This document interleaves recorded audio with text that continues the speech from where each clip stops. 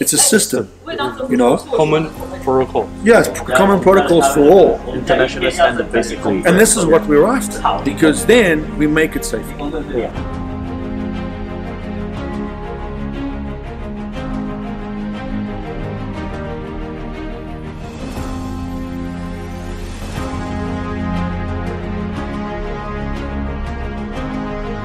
South China Karst is one of the world's most spectacular examples of humid tropical and subtropical karst landscapes.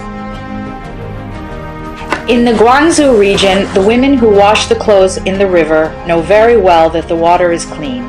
Clean water means freshwater springs.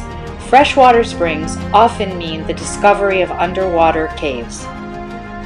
2017, an international team of UTD cave diving explorers continued the exploration of this area.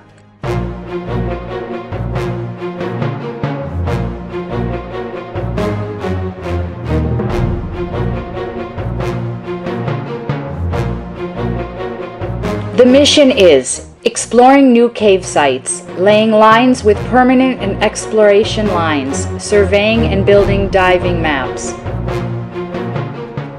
You are part of this community and you're an explorer. It expands your access because you don't have to redo that work. You understand? You can push from where their work finishes.